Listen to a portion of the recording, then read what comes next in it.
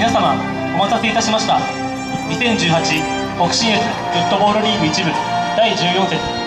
聖籠町柴田市サンクスデー。ジャパンサッカーカレッジ対堺フェニックスサッカークラブ。両チーム選手審判団の入場です。